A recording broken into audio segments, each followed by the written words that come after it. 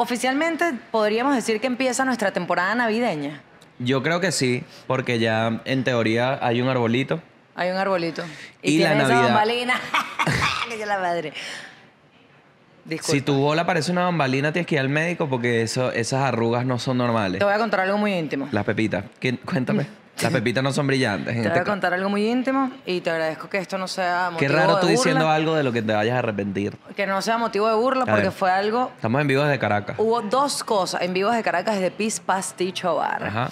Dos cosas que me marcaron como, como adolescente, ¿no? Por Ajá. culpa de mi hermana mayor, a quien amo y respeto. Ok. Lo primero era que me decía el gatico Félix, Porque me salían bigoticos aquí. Ay, qué, Y qué yo le decía, en vez de hacerme bullying, llévame Claro. o cómprame una maldita crema depilatoria. Un láser. Algo, ¿no? Como niña. Ayúdame. Lo otro como niña que requería una depilación láser es que yo nunca he sido muy pelúa.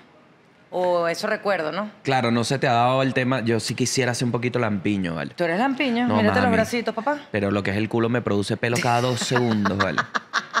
Te lo digo. Parece un. Yo creo ¿Tú que. tienes el pecho peludo? No, ¿Puedo- puedo tengo, verificar? tengo un solo caudal. Ay, Gabo, nunca te había visto el pecho. ¿No? ¿No? Tengo el pecho como el culito de un bebé. Sí, tienes tus pelitos como de Y hombre. tengo la piel suavecita porque no, no soy, no, no soy de quitarme la camisa, no Sí. soy de agarrar mucho sol sin camisa. En los brazos sí los tengo. Ve que tengo ronchitas y vainas porque esto sí está más a la intemperie. Eh. ¿Me entiendes? Siempre he tenido la piel como muy delicada. Ok. Yo como chocolate, ronchita. ¿De una? Sí. Ah, pues tienes una intolerancia a la lactosa. Como mayon... No, como mayonesa mucha. Me salen pepitas. O sea, mi piel reacciona a los estímulos de mi vida. Ok, ok. Cuando a mí me dijeron que me quedé encerrado en Chile, la piel se me puso pálida. Uy, pero claro. más por ver Pero la de- cuenta que no tenía tantos ahorros. y, pero sí, siempre he somatizado lo que llaman la somatización corporal. Yo también. Me sale rosácea en la cara. Me lo vi que cuando te pones bajo un estrés en los Pepsi, se te puso roja la piel porque Sí. no habían ensayado. Me, se- Te sí. empezaste a estresar. Sí, sí, sí. Me pasa cuando estoy muy estresada, me sale como rosácea. Y, o sea, con mi piel es burda sensible. Lo otro que te iba a contar es que como la niña... rosácea mística. Yo pensaba que no, no me salían pelos en las piernas. Cuando eras niña. Y una- bueno, adolescente. Ah. Y una vez una chama, porque no hay nada más cruel que un niño. Hay que decirlo. Los niños son una maravilla, pero son crueles también. Coño, pero ¿sabes qué pasa? Que yo creo que nosotros, en nuestra generación, porque esto no es algo que no he pensado, estuvimos expuestos claramente a un nivel de inteligencia emocional mucho menor Sí. y, y el resultado de eso directo es niños con mucho menos conocimiento. Yo he visto niños ahora que digo, coño, qué locura que yo a mi edad jamás conectaba ideas de esta forma. Sí, claro, pero digo, digo la crueldad en el, en el bullying. Sí, no tienen el criterio de, que le estás haciendo daño a alguien. Lo ven O como sea, un... por lo menos yo tengo, bueno, tengo muchos amigos que tienen hijos que están dentro del Tienen espectro. hijos que hacen bullying. No, que están dentro del espectro, ¿sabes? Que son Asperger, ¿sabes? Que tienen autismo leve o más avanzado. Ok. Y me impresiona porque otros niños que no entienden, claro, porque no, no, no reconocen, Claro. eh, o sea, la... la- bueno, en, en lo que pasa en, en la cabeza de estos otros chamos, Sí. entonces le dicen, eh, eh, eres raro, Raro. ¿sabes? Eres un weirdo. Bueno. ¿Sabes? Y eso me parece tan cruel. Es cruel. Pero también enseñarle a tus hijos a decirles, mira, no, yo no soy rara, simplemente yo tengo, eh, ¿sabes? Ten- estoy dentro del espectro, soy Asperger. O sea, eh, como también explicar y defenderse desde chiquito. Más Sí. que una defensa es explicar, mira, no, esta es mi situación. Pasa que es difícil porque son niños y te digo, yo viví una experiencia A cuando ver. era pequeño. Estaba en primer grado. Y en primer grado, eh, uno de los primeros días, me acuerdo que fue el segundo día, eh, entre la primera semana. Ok. Yo también era nuevo y uno de los niños en el recreo era, se puso, era como muy callado y empezaron a rodearlo. Entonces yo le pregunto a los demás niñitos qué, qué pasa y eh, estaban asustados porque el- este niño estaba diciendo que él era Satanás. wow. Y decía, yo soy Satanás, yo soy ¿Ese eras Satanás. tú? No, el niñito este. Porque de ti lo esperaría. Y estaba en el medio sentado así, soy Satanás. Y me empezó a decir a mí que yo he ido al infierno y he salido del infierno. Y yo me asusté tanto que le di una mano. Y se puso a llorar y dije, no, no es Satanás. Claro, tú quisiste matar el mal. Quise, quise como... Combatir el mal. Y, y no fue de ratica, o sea, no fue que me decían, "Di- pégale. Fue no, que te fue más- fue asustaste. miedo y ante el miedo dije, bueno, fuera Satanás. Y se puso a llorar y dije, ahí dije, no es Satanás porque Lloró. lloró. Claro, Satanás se hubiese y reído La maestra y, se salió. escupido sangre y que... ¿Qué pasó? ¿Qué pasó? Y ni siquiera hablé yo. Los demás. Estaba diciendo que era Satanás. Y bueno, Inés le dio una mano en la cara. Eso, ¿Ese era un colegio en La Guaira? No, aquí en Caracas. Ay, en el chamo. Caracas. El chamo era materia. Pero mi colegio no tuvo gaitas, así que tampoco es que... Mi colegio sí tuvo gaitas, pero yo De no bola. participé. Porque estaba en mi época de... ¿Qué instrumento? A mí sí me hubiese gustado participar en las gaitas porque yo creo que hubiese sido un buen showman. A mí no, porque yo hubiese querido bailar y las gordas no entraban en el cuerpo de baile. Difícil. Ah, niñas bullying. Capaz te hubiesen puesto en el furruco. No, ves los estereotipos Con desde buenos pequeña. brazos, brazos tuyos, mami. Te ganas un Grammy a punte furruco. ¿Tú te imaginas? Sí puede Estaría ser. yo y que ganadora, Lazo, Luis Jiménez, Agustín Suyaga y Lavero Gómez por su furruco en ojos marrones. Venezuela está triunfando. Cuatro Grammy. Cuatro Grammys y eh, te iba a decir de esas pasiones. Porque la pasión es algo que cuando se trata de interpretar es cruel. Porque la pasión es algo que mueve a la gente. ¿Qué, qué opinas tú de alguien que a- le apasiona el furruco? No es como, coño, difícil elección. No, y tú sabes que hay mucha callosidad en las manos, porque el furruco se ve fácil, pero no lo es, es duro, Sí. es un instrumento duro. ¿Te puedo terminar de contar las dos cosas que me traumaron como niña? Por favor. O sea, para ver si me dejas Mi terminar una papá, idea. mi mamá. Siguiente tema. No, una vez estaba yo en fila, en formación, Ujú. Y una chava me dice, mira, a ver si te afeitas las piernas por detrás. Verga. Porque en la parte de arriba, de no de Del la canilla, muslo, sino del del muslo, muslo, tenía sí. como un circulito de pelo. Yo tengo esos pelitos, son como. Yo los tengo como alborotaditos, como medio rulo. Es que son como un pelo malo. No, pero ¿sabes por qué? Porque son los pelos que te sientas. Yo no. Esos pelos estás constantemente sentado. Ah, tú no te sientas. Sí, claro. tu tú vida dices- parada, chamba. No, o sea, tú dices que ¿Cómo se hace como unos dreadlocks ahí. No, mami, el roce. Es como los monitos cuando le sale la burucita. Ah. Los chores, que le sale la pelucita. ¿Tú Imagínate si tú tienes el mismo pelo siempre, no le va a salir pelusa. Tú que eres de buen comer, se te rompen los pantalones en la entrepierna. Mami, me acabas de decir buen comer para preguntarme algo sobre el peso. No, porque a mí la mayoría de los pantalones se me rompen. Sí, no, yo en la entrepierna. yo me llevo a quedar en una isla así, naufragado, y me meto la madera entre la entrepierna y corro. Claro, para la pañalita. Y, y- no, para prender la fogata. Ah. Cuando haga ese roce, meto esa vaina en la yesca y. Uf. Bueno, última cosa que me traumatizó como Ajá. niña, mi hermana se metía con mis labios vaginales. Ay, Dios. O sea, no se metía que los burungaba, sino que una vez me los vio. Te los criticaba. Me los vio y ¿sabes lo que me dijo? Epa, y esas bambalinas, porque te, te guindan. Verga. Y yo dije, mierda, yo tendré la totona desfloretada, ¿no? No vale, no creo. No, pero sí tengo mis... O sea, Pero eso venden. yo me meto en Google y digo, esta es la mía. ¿Tú te harías una reconstrucción? No, no me tengo que agarrar el ruedo ¿Y una construcción? Mm-mm. No, no hay, te puedo preguntar, ¿no Sí, hay una forma en que puedas enchularte? O sea, Claro. como una operación estética de Sí. cuál es. Te puedes hacer rejuvenecimiento. ¿Qué significa eso? Bueno, que te Que le te ponen... liman, ¿no? Te liman- te liman el No, t- chico. Pero te ponen, te la ponen como gordita. ¿Sabes? No entiendo. O sea, te la ponen como, como un botoxito de totona. Te la inflan. Te la ponen gordita, ¿sabes? Y, y bonita. Te pueden hacer esto. Yo me lo he hecho sin mi consentimiento. Esto Ah, me pasa, acor- lo contaste. Esto pasa cuando vas a doctoras que son tus amigas. Claro. De pronto me hizo que sí un peeling en la vagina y yo no sabía. Es un peeling. Bueno, básicamente como... Tú sabes que las zonas íntimas se ponen como... como Por el roce. Como negritas. Sí. sea, se, ponen, se van oscureciendo por Sí. el roce. Sí. Entonces esto te hacen como un peeling, te quitan esa capa de piel y te queda la totona como una actriz porno rosadita. Blanca, claro. Pero ¿qué pasa? Yo no sabía, al día siguiente me estoy bañando y siento que se me está pelando la Ay, totona. Dios. Y dije, me morí. Te la hirvieron. Y le dije, mira, esto es normal. Ay, sí, no te conté. Ah, Por belly. Así hacen el por belly.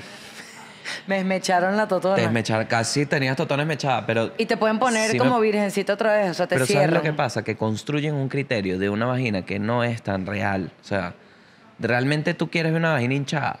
No, pero no es hinchada, es como No sé, man. Claro, el mismo concepto de los labios. el mismo concepto del Botox, de que no se Claro. te arrugue, de que no haya, la gravedad no vaya haciendo su efecto. Ahora, yo no pagaría ¿Sabes por qué? una reconstrucción, o sea, porque me No. dejen como virgen. Es como, yo me acuerdo que eso dolió, ¿Sabes porque hay- yo quería, porque yo quería pasar por eso otra vez. ¿Tú te has dado cuenta que cuando el huevo se para, una bola se espicha? Queda una bola más grande que la Claro, otra. porque hay una de las bolas que es la que empuja para arriba. ¿De verdad? Sí, sí, sí. ¡Wow! Date, píllate ese... Tú que tienes la oportunidad de ¿cómo lo tener pareja. No, mami, le dices, ay, te amo y tal. Y ahí, ahí pillas para que Pero veas. apenas se para. Es el mismo concepto del dedito del pie. Cuando te descuidas en que tienes el dedo del pie prensado, Ajá. una bola se te prensa. Pero a lo que se para. Porque es como que se pega la piel para arriba. ¡Wow! Date cuenta de esa vaina. Y es, de ahí viene el concepto de las bolas engarrotadas. Y de hecho, si tú haces ahí es- esa tensión, si tú la masajeas, ahí hay placer porque hay una tensión construida. Ale Aul. Claro, le puedes y pones campesina, campesina. Lucero de la mañana. claro, claro. Bueno, me voy a fijar en dos meses más o menos, que es cuando le toca para Son de Huevo a Vicente. Claro, claro, pero eh, eh, me extraña eso, las cirugías estéticas y lo que te iba a preguntar de cuál crees tú que era el límite, o sea, que como una usuaria de tu vagina, ¿Cuál sería el límite? no el límite, sino qué crees tú que podrías innovar a nivel de estético para la vagina, qué, qué pondrías que no exista.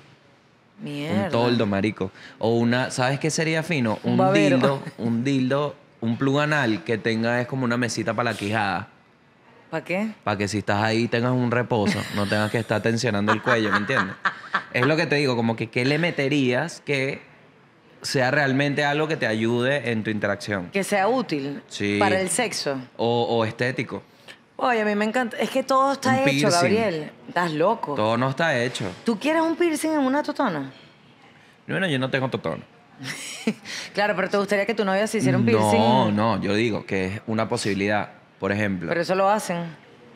¿cómo así? Un piercing en la totona. Se los ponen. Claro, yo sé. Ah. Pero no es algo que quisiera, pero es una opción, pues está. Bueno, ¿Te pondrías debe, un piercing debe dar vaina? mucho placer. ¿Te pondrías un piercing? No. Ni de vaina. Me dolieron los de las orejas, imagínate. Claro.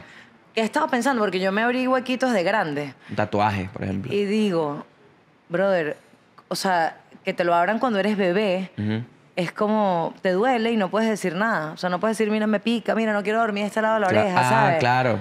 Y es como, marico, o sea, tengo como... Eso es loco, que hayan decidido que a las niñas llevan zarcillo. Bueno, mucha Vamos a colgarle gente... piedras en las orejas. No, pero sabes que pasa mucho hoy, que es como que eh, las mamás esperan hasta que los niños sean mayores de edad para decidir si quieren o no tener 100%, zarcillos en las orejas. Pero también ahí se abre otra capa, que es que tanto criterio tiene una persona de 18 años. Mm. ¿Me entiendes? Porque a mí me pasó, yo a los 18 me hice los zarcillos. Y hoy te digo, qué cagada. Me hubiese gustado no haberlos hecho. ¿Y hasta cuándo los tuviste? Un año. Hasta que se me acabó el sueño de ser jugador de fútbol. Porque si tú tienes dos zarcillos y no juegas fútbol, es como que, bueno, ¿qué deporte te dedicas? Y si no te dedicas a un deporte, es raro. ¿me Pero entiendes? casi todos los hombres, o no, no sé si estoy generalizando Pero mucho, raro- pasan por la etapa del zarcillo. ¿Qué- ¿A qué me refiero a raro? A, en compararlo a no tener zarcillo. Porque a mí me parece raro incluso, y no lo, no lo separo de género, es que como humanos decidimos colgarnos vainas para adornarnos. Como los, como los indios. Claro, no, como todo, todas las culturas tienen alguna versión de eso y eso es extrañísimo porque lo que pasaría en teoría es que eso se depure, pero no, ha sido una evolución. O sea, en cualquier cultura hay una, hay una expresión de eso. ¿Por Claro, qué es será? como, como que parte de los indígenas que se, o sea, se hacían muchas cosas en la cara, se atravesaban palos en la nariz, tenían Claro, como pero muchos por ejemplo, adornos. es lo que, a lo que voy con este punto. Nosotros ahora nos vestimos. O sea, fue un proceso que la gente dijo, mira, hay que cubrirse porque, bueno, infecciones, lo que sea. Zapaticos para no cortarse los pies. Claro. Esto sigue pasando. O sea, dijimos, sí, hay que seguir poniéndonos joyas, prendas. Es verdad. Es raro. Claro, pero creo que viene como con un chip que ya tenemos en la cabeza. Yo, por ejemplo, yo, si yo salgo sin cercillos. Y me veo y es como, mierda, soy un varón. Ah, no, no, claro. No, Sientes que de- ayuda a, ex- a acentuar tu feminidad. Pero es una locura, es, como, es lo que te digo, es el chip de que las niñas llevan zarcillos y los varones no. O sea, es como ese pedo de las niñas se visten de rosado y se ponen vestiditos. Claro, pero por ejemplo, eran símbolos de, de- Coño, es que también, bueno, hay muchas vainas, pero... Por ejemplo, las joyas de la corona nacen porque son conquistas de la corona. O sea, son Exacto. representaciones de riqueza que la corona posee. Entonces ahí, bueno, te las pones para mostrarlas, como es un poder.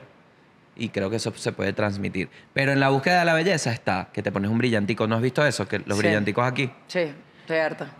¿No te gusta? No me encantan. O sea, es como que ya euforia pasó. Pero lo loco es esa búsqueda de acentuar con vainas externas a la persona. O sea, es rechísimo. Sí, bueno, el otro día tú me lo decías porque lle- llevaba como varias opciones de vestimenta para un show. Entonces me cambié y me viste que me estaba quitando los collares. Me decía, ¿te vas a quitar los collares? Y yo te decía, no, me voy a poner otros que pegan más con esta ropa. Una demencia. Y me decías, qué locura este pedo de las mujeres de tener como 10.000 opciones de collares y de zarcillos y, Y de ve que yo, yo porque no tengo reloj, no uso ni reloj. O sea, soy demasiado lentes, cartera, llaves, ropa. ¿Y no te gusta como saber la hora? Eh, Tengo el teléfono. Ok. O sea, no me gusta cargarme de vainas, pero siento que voy a botar las cosas. Pero el reloj tú sabes que Como se el amarra, Switch. ¿no? Tú sabes que se amarra y no, se, no, no pero lo tienes que eh, botar. me da calor. Entonces me empieza a sudar. ¿Sabes en qué? Cuando tengo reloj, ¿qué me la paso? En esto. Ajá. No, pero a mí no me huele mal. O ¿Ves? sea, no es como un yeso. Lo que te digo es que si lo vemos de una forma fuera de contexto, es gente que se lleva unas piedras de un color y unas piedras de otro para combinar con la ropa. Sí, es raro. Es una demencia ponerse piedras encima. Y lo que te digo, duele. Yo me hice como dos huequitos más, ahora de grande. Porque es una búsqueda estética. Y hubo uno como que nunca me, nunca me cicatrizó. Ah. Y me lo tuve que quitar y fue como, "Ay, bueno, qué el ano, mierda. el ano no cicatriza. Epa, el otro día vimos un video De una chama. Ah, no, eso no fue contigo. Eso fue con, con uno de los productores del show que me estaba mostrando Vamos un a un video. corte comercial. y era ¿Qué una me estás chama en vale? cuatro ¿Cómo? tatuándose el ah. ano. Ah, ok. Y se tatuaba puros círculos como para hacer que era un tiro al blanco. Coño, Claro. ¿qué decisión de mierda tomaste? No, ¿y quién coño te está tirando dardos al ano, vale? No, no, ¿y por qué te quieres tatuar el ano? Entonces la chama llorando. Claro que te dolió, Ah, obvio. obviamente te dolió. Obvio. Otra chava la vi tatuándose Kevin en la frente. Ay, no. El nombre del novio en la frente. Mira, tatúatelo En la en, espalda. en- en un lugar más chiquito, en toda la frente. O sea, ¿qué le quieres decir al mundo tatuándote Kevin en la frente? Que se tatuó, se tatuaría el nombre de alguien. Del novio. No, no, ¿Y si terrible, terminan? Terrible. Sí, pero bueno. Yo voy a tatuar tu nombre. No, no, no, no. no. Sí. No, ni de vaina. En las costillas. Ya yo no me tatúo más nada. De hecho, yo me tatué esto por de a toque y la gente piensa que es un pene, yo también a veces, y prefiero no, no hacer otra vaina así porque... ¿Tú no te tatuarías más? No, porque cada vez que tomo una decisión que tiene algún impacto en mi cuerpo me arrepiento dos años después. Mm. Ya este tatuaje digo, era que, que imbécil. A mí me encantan los Vas tatuajes. por ahí pretendiendo que tienes un la muñeca. Pero no parece un pene. Me parece. ¿Qué mira. clase de pene es ese? Un pene cortico, weón. Yo lo vi. Ah, ¿viste? Claro, si lo pones así. Claro. Bueno, pero lo puedes remodelar. Te No. haces el ávila. No, yo ya si me hago, o me hago todo el brazo o lo dejo así. El bicho burda radical. Quiero hacerme todo el esequivo así duro. Que te iba a decir esa vaina, que hay que recuperar esa vaina, marico. Ah, bueno, si quieres puedes ir al CNE. No, pero sí te digo que ha sido muy raro esa vaina, weón. ¿Cómo andan con ese pedo del esequivo? Como forzado. Y es como, pero... Ahí vi gente que me contaron para que lo pararon en una alcabala y le dijeron, te podemos pegar una calcomanía de recuperar el esequivo. Y el bicho que, me vas a multar. Y que no, pues, pero ¿De te la verdad? puedo pegar. Y el bicho que, pero me vas a hacer algo malo si no. Y el tipo que, ¿quieres averiguar? Y mi pana se que la dejó pegar? Se la pegó. Qué arrechera. Y ahora tiene ahí I love Esequibo. ¿Eso está pasando? Está pasando. Yo tengo un mapa de Venezuela sin el Esequibo. Claro, pero es que yo te voy a decir. Porque, o sea, ay, si nos los quitan para siempre, ¿cómo me quito yo eso? Coño, para mí me parece más importante recuperar Maracaibo, por ejemplo. Que bastante coñazo le han dado y bastante separado. Me parece, coño, recuperar un poquito Maracay, Erga, Valencia, Barquisimeto, Mérida. eh, del Tamacuro, marico. ¿Por qué no nos vamos para allá? Pero entonces, bueno. no Epa, ¿tú sé. viste qué locura lo que pasó en el último juego de la Vino Tinto? ¿Qué pasó? Primero que 0 ah, a 0, lo, ¿no? del- lo de la estampida. Mira qué loco. ¿Sabes que más allá de la estampida? Cuéntame el chisme. La gente eh, estaba haciendo su cola para entrar. ¿Y sabes lo que pasó? ¿Qué? Más o menos 5 mil personas Mierda. que no tenían entrada empezaron a hacer una locura y tumbaron una cerca A meterse. para meterse. Mira. Entonces fue la locura, estampida, vaina, que gracias a Dios no se murió nadie, pero se quedaron... Oye, gracias a Dios que fue de humanos y no de rinocerontes, ¿no? Mucho más peligroso. Se metieron un montón de personas que no tenían entrada, Ujú. ocuparon los espacios de la gente que sí tenía entradas Y mucha peo. gente se quedó por fuera. No puede ser. Ya va, Alejandra y Mondongo No puede fueron desde ser. Caracas a ver el juego de la Vinotinto y ni siquiera pudieron entrar al estadio porque la solución de seguridad fue una vez que se metieron estas miles de personas, fue cerrar el estadio para que nadie pudiera cerrar o entrar. Mierda. Entrar o salir, quise decir. Qué locura. Entonces fue una demencia porque había gente por todos lados, en los pasillos, en los baños. La gente no tenía puesto, o sea, so- se, o sea estaba sobre la capacidad y ahí caben Claro. 50 mil personas. Verga. La gente tenía que sobrevolar que sí, una o dos horas en el, en el, en el cielo porque no había, no había espacio para aterrizar de la cantidad de aviones aterrizando en Maturín. No me jodas. Sí. Claro, es como. ok, Coño, pero ¿quién planificó esto? Es como que te hubiese mandado a ti a planificar el partido. No, yo lo hubiese planificado mejor. ¿Qué te lanza? ¿Qué pasa? Ya va. Dale, Voy a- dale. Primero el por- problema y después a la Primero, solución. exacto, porque no quiero echarle mierda a la federación, que Yo han sí. hecho un buen trabajo. Yo te voy a decir. Porque la federación escoge, mira, este es el estadio que vamos a usar. ¿Por qué? Porque es el estadio con más capacidad. ¿Qué pasa? Se desbordó la fe. Más gente de la que se pensó quiere ir a Maturín. Sí. Entonces Maturín tiene el estadio, pero no tiene la infraestructura alrededor. Es decir, no tiene un, un gran potencial Sí. hotelero, gastronómico y mucho menos un aeropuerto Claro. con tanto tránsito. Sí. Entonces, ¿qué pasa? Caracas lo podría tener, pero Caracas no tiene un estadio de fútbol. Claro. ¿Eh? Entonces, ¿cuáles son las opciones de otras ciudades que Mira. puedan recibir a tantísimos? O sea, Claro. se, al- eh, se supone que viajaron más de 20 se movilizaron más de 20 mil personas de todo el país para ir al estadio a ver a la Vinotinto. Claro, es que hay la fe. Y yo te lo voy a decir, yo estoy ofendido. ¿Por qué? Yo estoy ofendido porque la narrativa, como siempre, lo que más me molesta siempre de Venezuela es la narrativa de la gente que dirige las cosas. Y la verdad es que la fe es algo que hemos tenido el público, Sí. el venezolano. Y la narrativa que agarró esta federación, que es la misma gente, sí, hay gente nueva, pero es la misma vaina. No hemos cambiado aquí los actores, ¿verdad? Es una narrativa de, de- se apoderaron del Mano Tengo Fe. Vi una publicidad en YouTube que era Mano Tengo Fe para el Esequibo. No y esa ser. vaina, sí, y esa vaina se la están quitando a uno. O sea, eso es de nosotros, marico, y esa narrativa de que no, ustedes están para cumplir.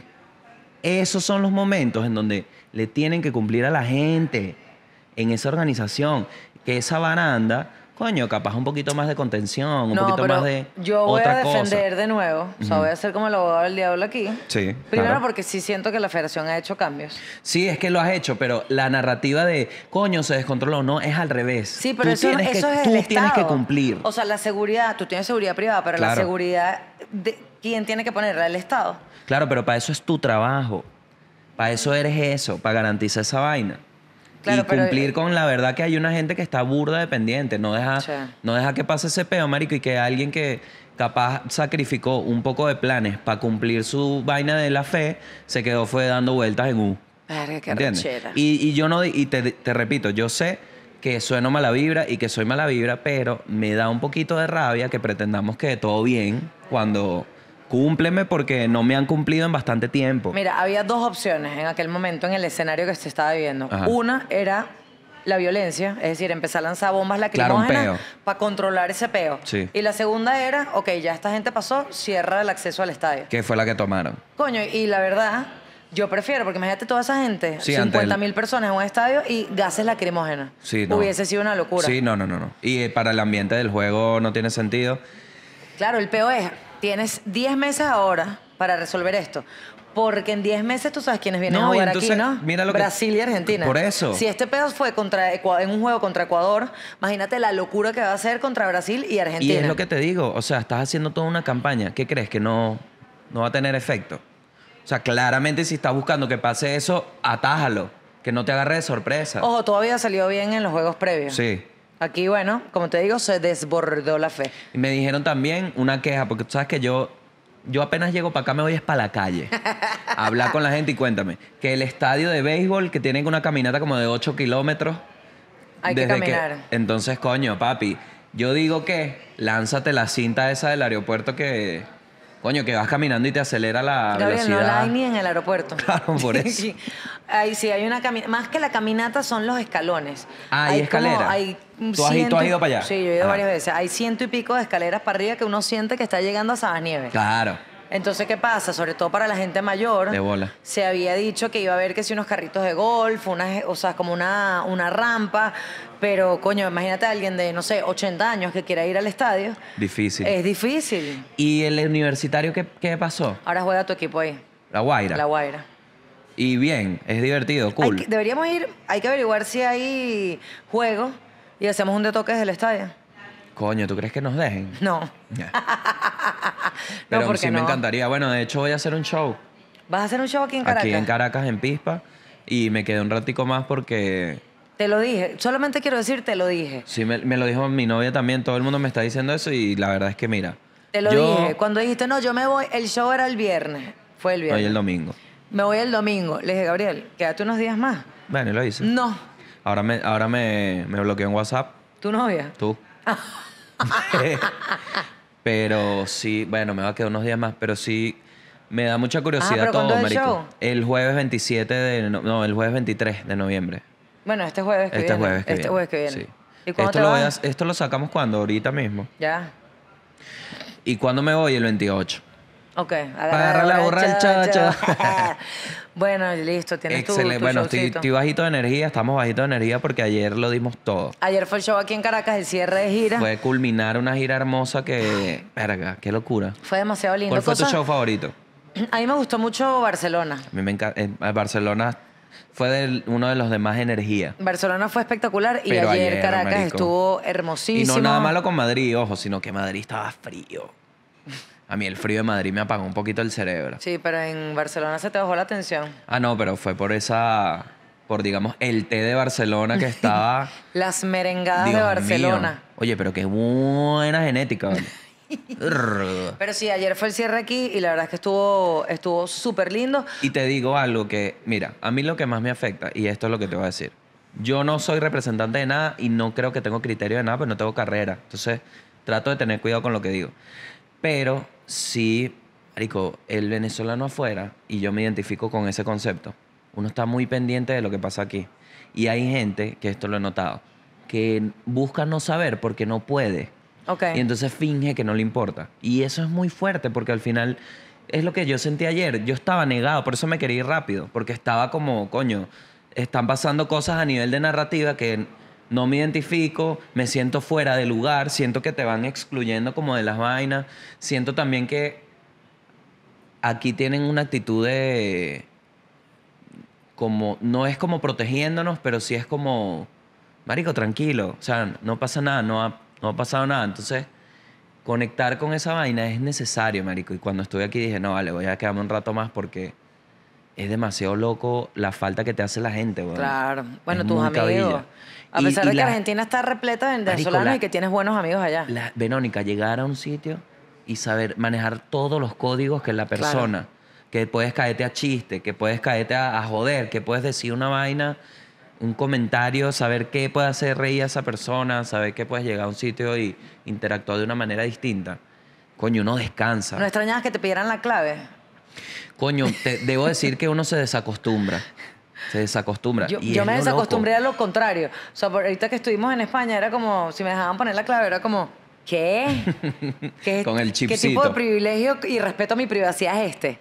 No, y el pago móvil, coño, extrañaba un poquito. El pago móvil, claro. Sí. Coño, no hay señal, hermanito, te pago mañana. Sí, sí, sí, sí. Y, y la comida. Creo que lo, lo más loco es la ¿Qué comida. has comido? marico. Tienes Bueno, 24 horas en Caracas. Llevo dos días, tengo dos días. Un día y medio. Un día y medio. O sea, llegaste a las Exacto, un 10 día de la medio. noche. Bueno, y a las 10 de la noche llegan Dini, Te comiste una sopa de res. me fui para el hervido.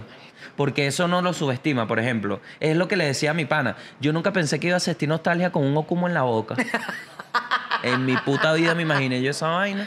Pero es así porque son sabores que no tienes Claro. afuera, marico. El arroz chino. Cuenta, háblame del arroz chino Bueno, el arroz tipo chino- venezolano en Argentina. Muy difícil. Y hay un PF Chang's en, en Argentina. Bueno. Y es muy bueno. Bueno. Y ojo, se acerca, pero no es lo mismo. O sea, el, el- las, las costillitas sal y pimienta Ajá. no las consigo. Uh, No hay en ningún lugar.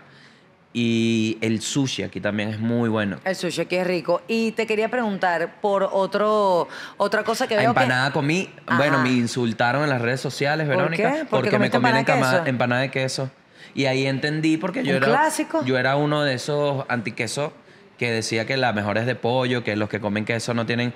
Y al final, en- pero es que por eso te digo que alejarse te cambia un poquito de lugar y por eso es importante reconectar, ya sea por Zoom, las posibilidades que tengas, marico. Pero es importante no darle la espalda a esa vaina por más que lo que haya hay que trabajarlo, porque entendí la empanada de queso porque yo extraño ese maldito queso. Claro. Extraño ese sabor de la, la harina, sabe distinta, marico, con el queso, eh, la fritura, lo- el crujiente. Coño. Y la gente, joder, ahí está. Empanada de queso, si eres estúpido, ¿vale? Tienes que comerte escaraota con pepitón y mejillón. Verga. Vale, pues, a mí me gusta mucho la empanada mm, de, de tajada y queso. Ok. Me no soy fan, no soy Empanada de fan. taja de queso, queso. Soy súper fan de la empanada de queso, Sí. clásico, clásico. Divino. Y me gusta la empanada de cazón. Cazón no Pero he bueno, comido. cuando estoy en el mar. Se me hizo agua la boca porque tengo hambre y tengo pendiente. Ajá. Arturo, Arturo, un clásico. eso tengo que ir y quiero ir a la playa. Te iba a decir para ver si podemos, podemos grabar un episodio desde el mar. Ok. Eso estaría cool. Lástima la arena en los equipos, ¿no? Alejandro, Pero ¿y qué? estaría, estaría cool ir a la playa. Eh, quiere- quisiera ir a la playa. Bueno, voy a ver a mi papá. Uf. Sí, lo conseguí por Facebook. no, mentira. Eh, voy a visitarlos, voy a, ver, voy a ver mi familia también. Por eso quise tener un poquito de Coño, tiempo. qué bueno, porque le trajiste un perfume a tu abuela que... Y a mi papá le compré un perfume en, ¿También? ajá, en el aeropuerto. Chacho. Pero lo conseguí. Lo estaba buscando y no había. ¿A tu papá? Ujú. No, el, el-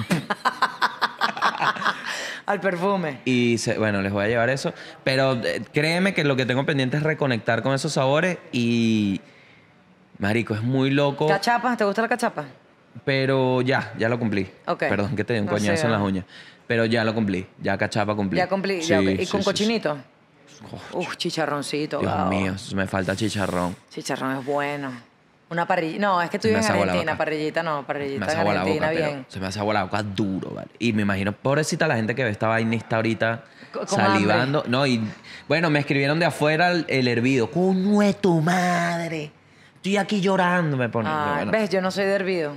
Claro, mami, pero si tú vives afuera y lo que comes es puro pretzel, Claro. de Alemania ves un hervido y dices, este hijo de puta. Claro, qué Qué envidia te tengo. Mira, y pollo en brasa en Argentina. Pollo en brasa en Argentina es peruano. La técnica del pollo Ah, en brasa pero el es pollo en peruano. brasa en peruano- en Cumple, Perú es pero bueno. Tengo la cita pendiente con Con un pollito en mi brasa. amigo que empieza por C y termina en Oyuco. Tengo mi cita. Está caro. ¿Está caro? Sí. Difícil porque entonces, bueno, se me iría todo el dinero del show en, en probar la, lo culinario. No, pero... y, la- y las costillitas del oyuco. Y te digo, la mejor representación de comida venezolana la comí en Miami. Bueno, es que Miami, Doral es básicamente estar en, en, en la- Las empanadas del señor Elías. Divina. No joda. Tú sabes que yo no soy empanadera. El cazón del señor Elías, Verónica, te lo digo. No me acuerdo el sitio cómo se llama. Creo, lo que me da risa es que se llama que sí. City, Central City Park. Y es un sitio de empanadas.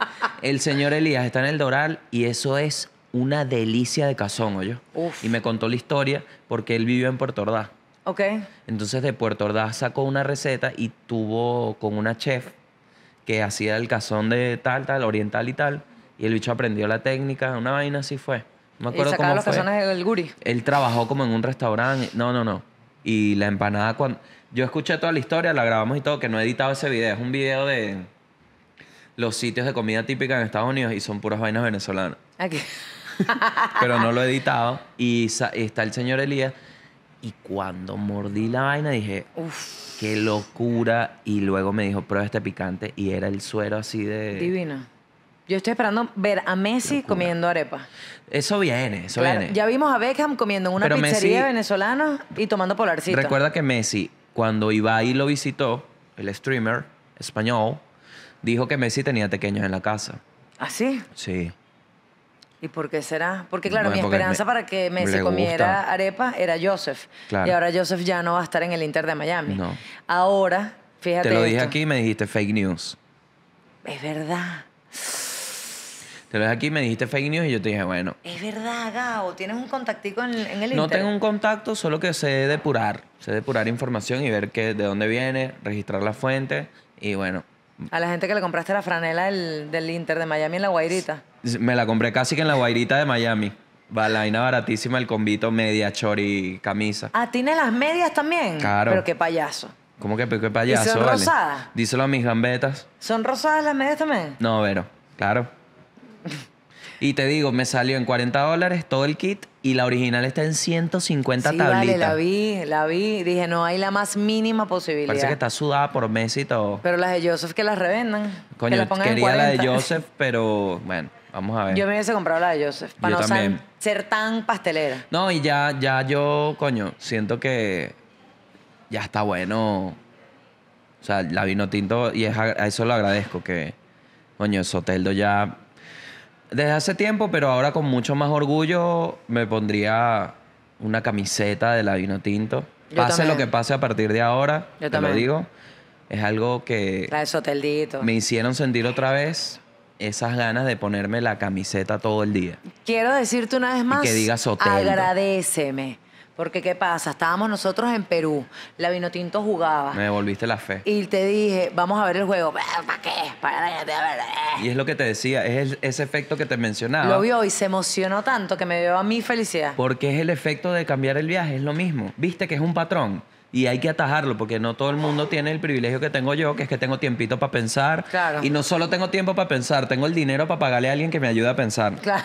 O sea, y por eso lo hago, lo exteriorizo, porque es una vaina que tú dices, no vale, no me importa. Y cuando sientes el- el- en la pata de la orejita el recuerdo, el olor, el olor de la birrita con, con la Uh, camiseta la. Vinotí, claro. Tú dices, coño, Te voy a llevar claro que tengo fe, marico. Te voy a llevar para el eh, estadio de La Bueno, y aprovecho y bajo esta línea, porque eso me decían, coño, no has puesto nada de la Vinotinto, ¿acaso no tienes fe? Papi, yo no tuve fe cuando la fe, yo tuve fe cuando la fe no era nada. Cuando no existía Dios Yo antes tuve de Cristo. fe, exacto. Yo tuve fe cuando la fe era de, de otra gente, que ni siquiera iba para el. Te escupí el teléfono. sí. Que ni siquiera iba para el, para el fútbol.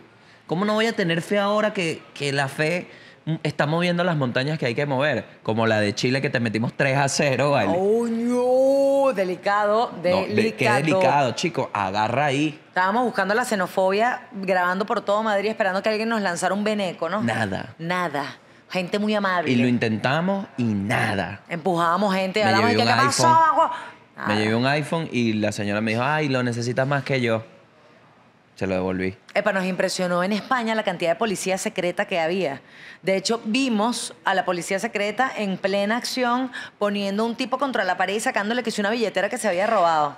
La policía secreta es un concepto maravilloso, que son policías vestidos de civil, que y están divinos, hay que decirlo, los policías españoles están divinos. Para con todo el respeto, ¿no? La autoridad. Claro que sí. Cuando se altera el orden público, aparecen estos héroes sin capa, pero a veces con sobre todo. Están bellísimos vestidos y de repente te pelan la placa. Sí, vale. Tenemos qué un pana miedo. que estaba en una vuelta en un parque y le apareció la poli secreta y le dijo, ya no es un secreto que eres marihuanero, coño de tu madre, bota esa vaina. Sí, sí, sí. Le dijo, ¿tienes más? No, no, no. Aquí no, en la Sí. casa. Ajá. No, Eso- no, le dijo que no. No, le dijo que no, pero qué miedo. Porque entonces, ojo, Pero esto es- lo que hace es que la gente ande como... Pendiente de no cagarla. Exacto, pendiente de no cagarla, no porque, ay, mira, puedo ver un uniformado, sino porque sabe que cualquier persona a su alrededor puede ser un policía secreto. No, y, y te quieres que te diga algo que es más real. Sí. es impartir la justicia no a partir del miedo, ¿no? Que es lo que pasa en lugares como, por ejemplo, este que estás tranquilito y de repente viene una camioneta con una calavera y un poco de bicho con unas bazucas y tú, marico, ¿qué, qué es esto? Pide el café, vámonos. Allá, marico, coño, a mí me gusta ese concepto de... Es el Clark Kent. Sí, pero también es a través del miedo. No, pero... el miedo a que te pillen. Pero no los tienes visibles. Tienes miedo a que te pillen, no miedo a que te pise una camioneta con una Ah, calavera. bueno, sí, eso ¿Me sí. entiendes? Y mucho más disimulado. Que bueno, te cuento, en Estados Unidos no, no me había dado cuenta del tiempo que tenía sin ver un arma. Porque vi un bicho cowboy y cuando volteé así, la pistola era como de esa... Un civil. Como un magnum, sí, un civil, como un magnum de esos de almendra. No, como una magnum de esas de platinada. Y el bicho así como si nada. Y yo, ay, mi María purísima.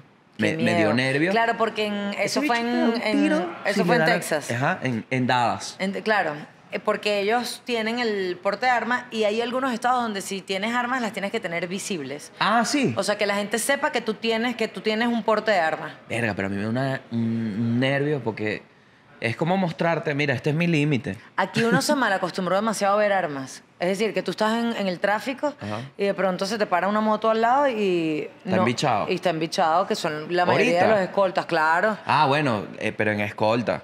Ah, bueno, claro, Claro. pero igual es como una persona que está vestida de civil, Sí, no sí. está uniformado de policía y uno está al lado cagado viendo un tipo con una no, pistola. Y, y bueno, no sé si pasa aún, pero a mí en el Twinguito, como es carrito pequeño, te paran tránsito. Entonces un bicho de civil ¿Y en una qué? moto, ya va, ya va, para que pase una camioneta ahí, Ah, sí. que uno termina cagado. Pasa menos, pero sigue pasando. Pero sí. Que es como, pero ¿por qué no pueden esperar el semáforo? O sea, Pero ¿qué es va a pasar? Es lo que te digo. Entonces, sí, sen- sí sentí esa vibra de que ese carajo, el de Dallas, te Ajá. da un tiro, si te pone.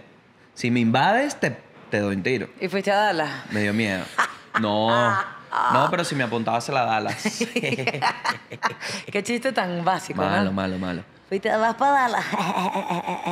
Bueno, y entonces, ¿qué? Que la verdad es que sí. Si hay una fe, trataste de hilar ahí. si hay una fe, si hay un sentir y hay que vivir. Mira, tengo pena. ¿Qué pasó? Tú sabes que este, este cuento lo eché en los, en los shows en vivo. Que el día que llegamos a Madrid, cuatro y media de la mañana, hora España, eh, tengo un sueño. Y me despierto y de una vez, cuatro y media de la mañana, le escribo a Vicente, ¿estás? Y ¿Qué mi es? sueño era... Es la versión más tóxica de un mensaje entre pareja a la madrugada. qué pena.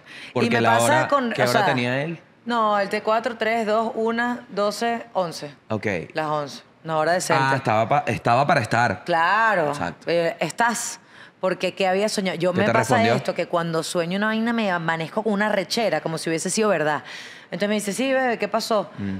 Entonces le digo, es que acabo de tener este sueño. Una pesadilla. Que llegaba a Caracas cuatro días después y tenías las maletas listas Sí. y me decía que se iba porque en mi ausencia, o sea, en mi abandono del hogar, Ok. Jean-Marie lo había ido a ayudar con el perro y se habían enamorado profundamente. Claro. Entonces, ¿qué pasa? Tengo tres shows atacando públicamente a Jean-Marie, diciéndole, coño, tu madre roba marido, no sé qué tal. Jean-Marie me escribió hoy. Claro, brother, pero es que eso- esos brotes de inseguridad que haces público. Pero era un chiste, era un chiste. Sí, no, Jean-Marie es mi pana. Chistazo que te tuvo que escribir Jean-Marie. Tipo, mira, sabes que eso fue un sueño, ¿no? No, no, pero mira lo que me escribió. Me puso y que, mi Vero. No, ¿dónde está? No, ese es otro No. mensaje. Mi No, Vero, recuerda el de- No, la deuda. Vero, y mi relación con Vicente era bonita, nos queríamos. Claro. y le dije, marica, mira lo que le escribí. Se amaban, me dejó hasta sin perro y se fue contigo. Claro. Entonces eh, se rió y le puso, te he mentado a la madre eh, por ese sueño en los últimos tres shows. Ayer me escribieron dos amigas.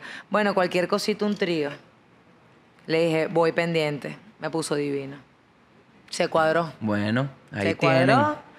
Para Patreon. yo Así vamos a reestrenar nuestro Patreon. Yo solamente le he aprobado un trío a Vicente que hiciéramos y era con Deina. Deina no sabe. Yo pensé que era uno de pastas. No, no, no. Un trío con Deina era mi propuesta para Vicente porque es como la única gea que me despierta un morbo ¿Sí?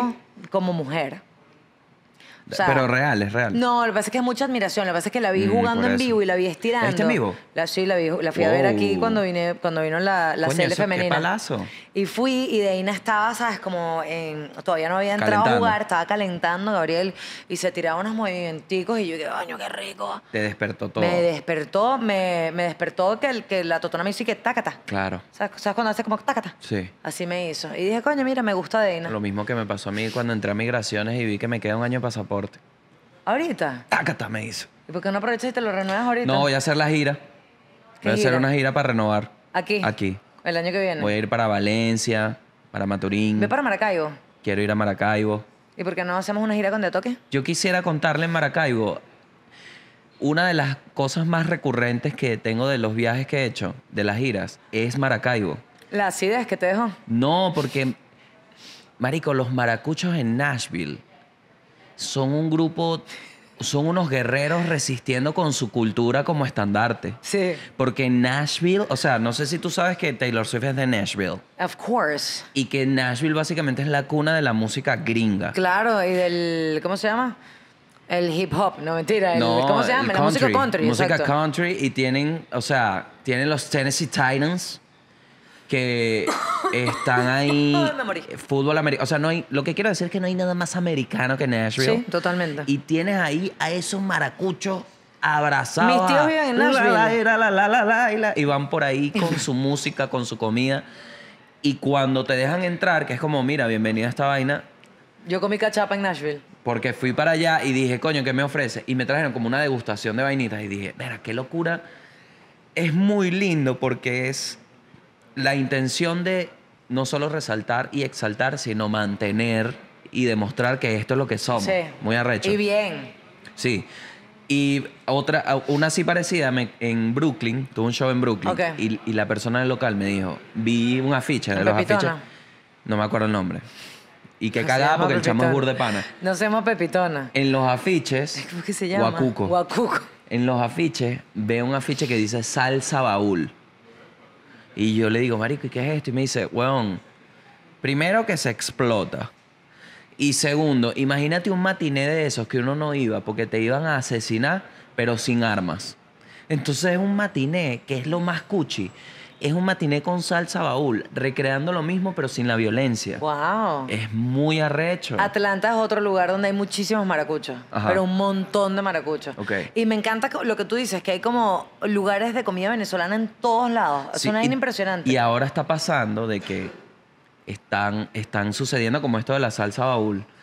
Están eligiendo las cosas que les hacen falta y las recrean para vivir esa experiencia.